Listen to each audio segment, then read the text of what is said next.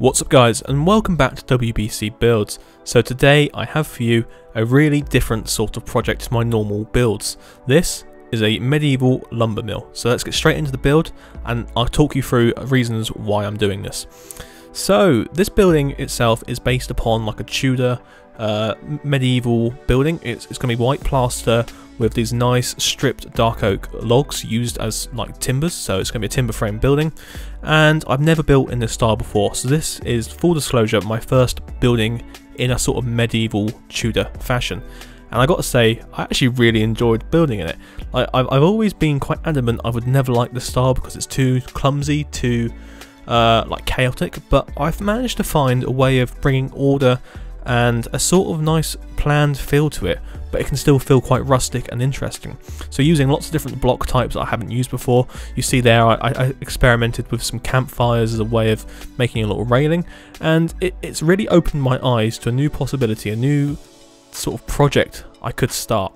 And that is kind of what this video is all about. This video is just going to be the start of a little village. The village is known as Burley. So you may be thinking, Burley, that's a cool sounding name. So I've stolen that from real life. There is a little village in the New Forest called Burley, which is focused mainly on like witches and witchcraft. It's uh, quite a tourist trap in the summer for people to come down to. And I feel the name suits this place quite nicely. So over the coming months, I'm going to hopefully add more and more buildings to this little village in this similar style, this this this sort of take on medieval that I've done. And we're going to see like a church, a few more shops, uh, a couple more houses, maybe even a few more pubs. I say a few more pubs, yes that's right. In, in later on in this video I do actually build a tavern type building as well because you know what, even if you have a lumber mill and just one other house, you might as well have a pub as well to bulk it out a little bit. So there isn't actually a name for that pub yet, so when you see it later on, you know, think about the first thing that comes to your head, comment below what sort of name we should give that um, that pub. But yeah, I've really enjoyed building this, and there's no word of a lie. I definitely want to do more of it. So there is that, and this project will continue, like I said. Uh, I don't know when, it's going to be quite sporadic, I believe. But if it just sort of, when I get bolts of inspiration come my way, I'm going to go, right, let's go back there, build another building. Like I mentioned, I do want to build a church. So I'm going to have a look into that, see what sort of styles I'm going to go for for that. So you can see I'm building like a little dock there to take all of the, the lumber and the sawn planks away and now moving on to the couple of other little buildings we've got here. So this is just a little house. Uh, I, I, didn't really give it a name or a, a, title. It's just another sort of worker's house for the, for the sawmill. There's already one built onto the side. And you see the layout there to the left. That is the tavern. So like I said, drop a name down below on something you feel would fit that place quite nicely. I also built a little well here, gave a little bit of detailing around it, and that is actually what drew me to this. The fact I can add little details. Minecraft's very good at using the colours and the blocks to build this style, obviously, because it's kind of based around that. But the fact that I turn stuff using these similar blocks into Victorian and Georgian buildings makes it slightly different that I can do this as well. So I hope you guys understand that this isn't my normal building style, and so obviously I've left out a lot of the extra details a lot of people do to these things, but I really, really like it. So I'm going to leave you guys the rest of the time lapse. There's a little cinematic at the end, and then we're going to jump into a, a sort of first person showcase where I'm going to wander around and talk a little bit more about the town. So I'll see you then.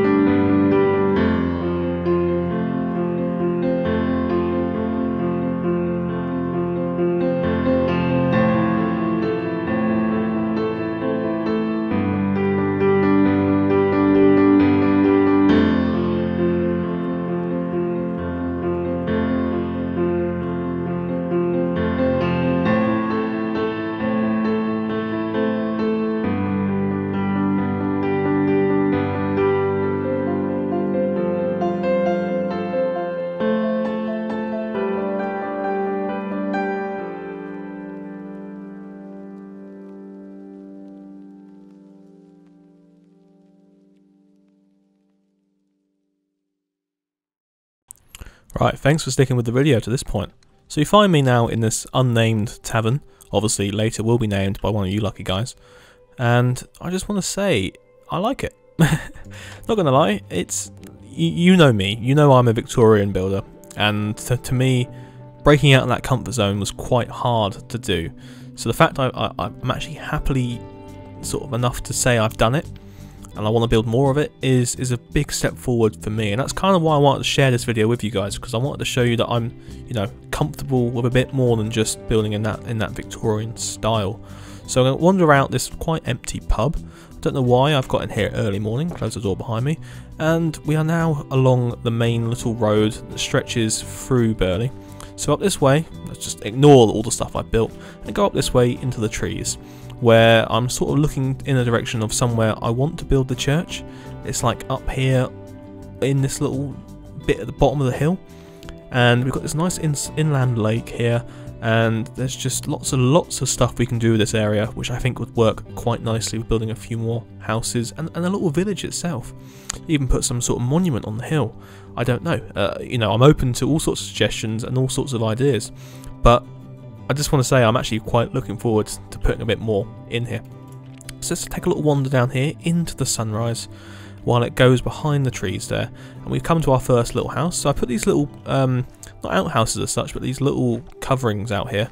I, I tried to. You can see here, this is where I forgot to change it to the uh, white white concrete powder rather than stripped oak it started off in the video.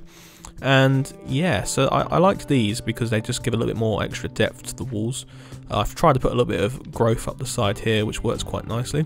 And what I was quite happy with is the fact I can integrate brick into these styles. So you see a lot of medieval stuff where it is just pure wood, and obviously with stone and cobblestone and you know stone bricks.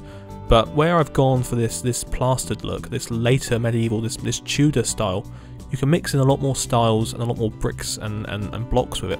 And I think it works quite nicely. Yes, I've gone for the uh, sort of cliche way of doing the chimneys with campfires and, and a few little um, trapdoors, but I think it works quite nicely for this sort of stuff.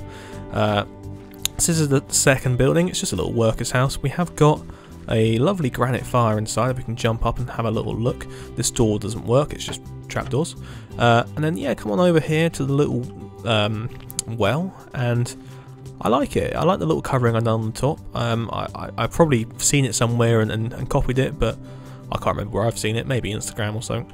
But yeah, and, and, and for a little bucket, I've gone for the barrel with a iron railing just dangling off there. But I have seen actually, in the latest snapshot, chains are now a thing. So this would definitely definitely uh, benefit from having chains in there. Uh, and then we move on to the actual main building itself. So the first one, I, this is all I intended to build. I just ended up building a pub and some other stuff as well because that's just me. Uh, and we're coming up here into the, the logs. So we've got all these logs that's left lying around, uh, strapped up. Uh, I've gone for, yeah, stairs, not stairs, uh, steps and um, railings for that. And the idea is that these guys cut down this, this birch that's lying around everywhere. Uh, it gets dragged over here by some barge or something, left here, it can be exported, or it can go into here and be chopped up on the uh, on the sawmill. So what you're seeing now is a birch tree that has been sort of split in twain and become planks. So that was that was my intention here to sort of make this look a bit more realistic. So I've gone for uh, uh, put out campfires and then some sawmills in here, so it looks like it's got the running bed. You've then got the moving arm from the the uh, the water turbine, the water well out there, and you've got some logs left here lying around, ready to be grabbed and thrown on here and sawn up. So if we go on through into this little room here, this would be the living quarters of the, the, the person that ran the sawmill. I've got to say, it's a lovely big fireplace in this huge room. No upstairs to speak of, but you have got this nice beam running across the length of the building. Uh, and you could do something nice, it's cosy in here. It's white, it's bright. Uh, for the windows, I've gone for just using fence posts. I think it works quite nicely. From the reference picture I saw, of a real life building, they do have these really small wooden windows rather than glass because I think glass must have been expensive during this time period. Well, I know it was because there was a window tax in the Georgian period. And then we come out here to the back and you've got a little lean-to again, you've got the fire stack there, and then we come on to the back of the lumber mill. So you've got some already cut up planks waiting to be exported, and you've got the back here with another sloped roof and a little one off there as well. And sort of, I want to come around and actually look at the, the water wheel itself. So this is the first time I've ever built one of these, and obviously circles come second nature to most builders, but it was the idea of putting some some stairs on there was quite a nice touch. I thought rounds it off a bit more, makes it feel a bit more of a will. So you can see underneath there, I started off making it out of stripped oak, and then I suddenly went, oh, that doesn't look too good.